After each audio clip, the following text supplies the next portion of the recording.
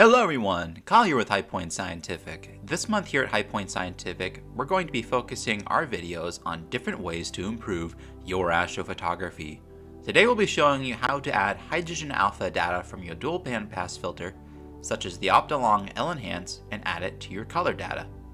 Now while I use the Optolong L-Enhance filter to make my images for this video, this process will work for any dual bandpass filter out there that enables the transmission of hydrogen alpha.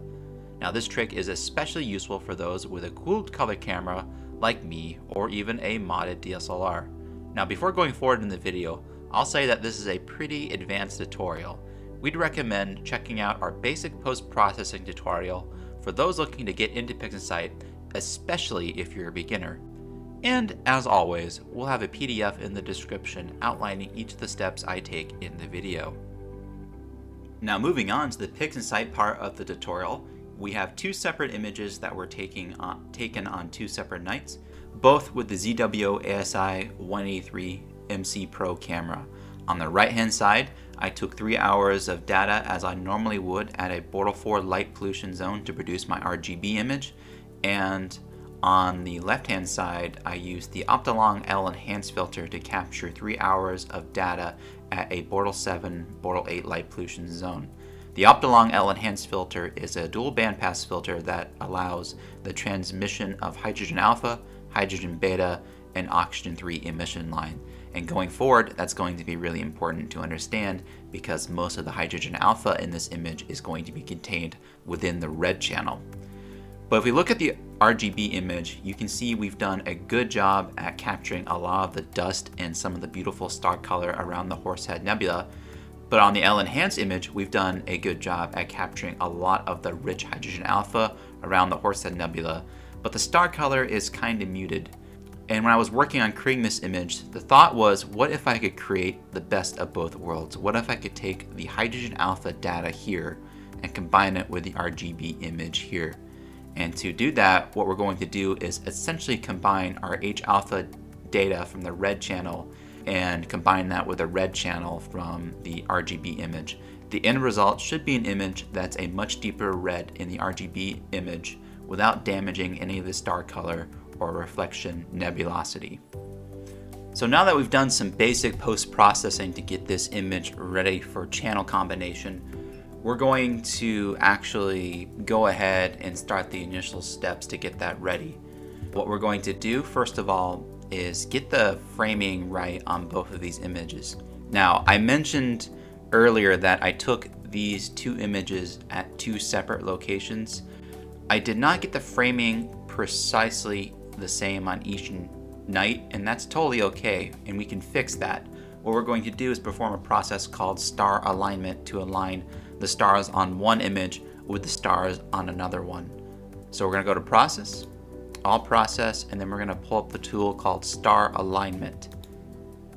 We're gonna set our reference image as our RGB image.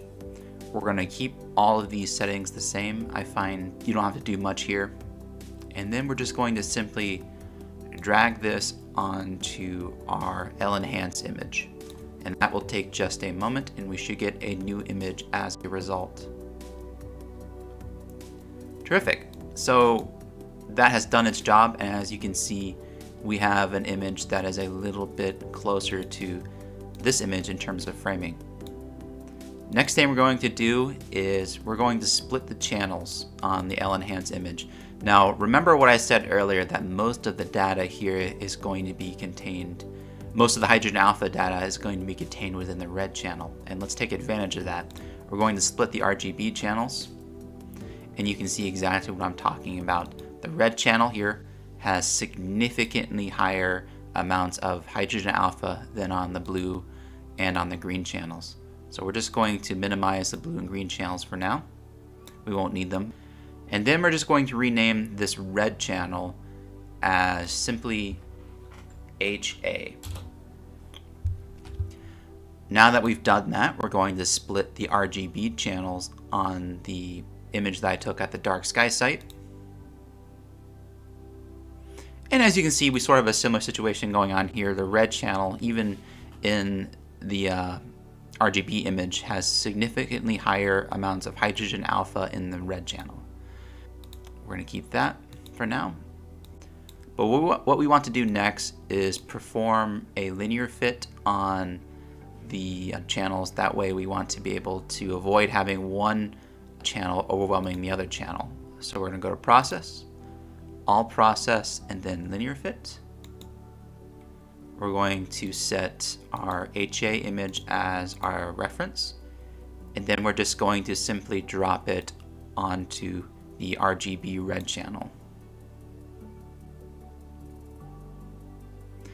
And that has done its job. We now have an image that is linearly fit with our hydrogen alpha master frame.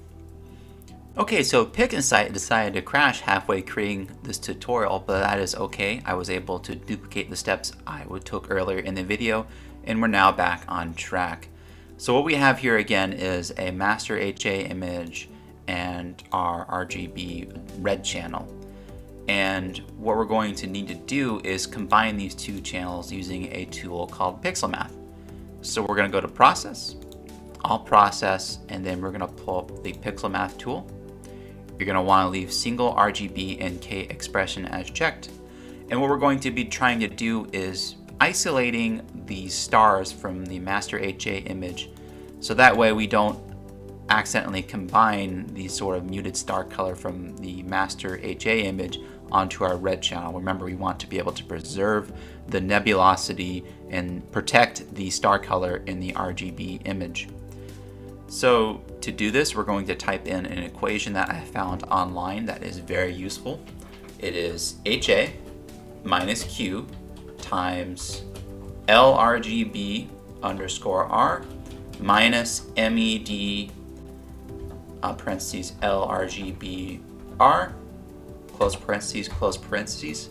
And then you can go to symbols and you can play around this value, but I found a Q of about 0.5 worked for the best of this image.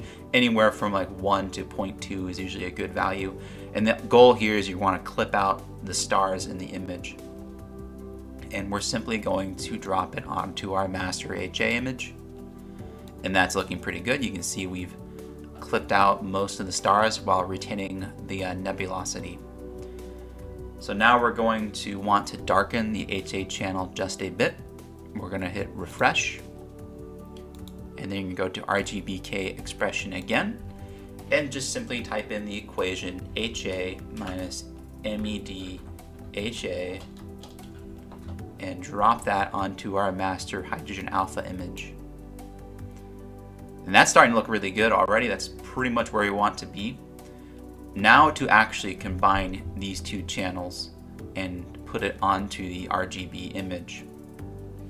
We're going to want to go to Pixel Math again click refresh. And then we're going to want to uncheck single RGB and K expressions. Under R and K, you're going to want to type in the equation dollar sign $T plus HA. In the green channel, you're going to want to set green as equal to dollar sign $T and blue as dollar sign $T plus 0.2 times HA. And we're simply going to drag this on top of our original LRGB master image.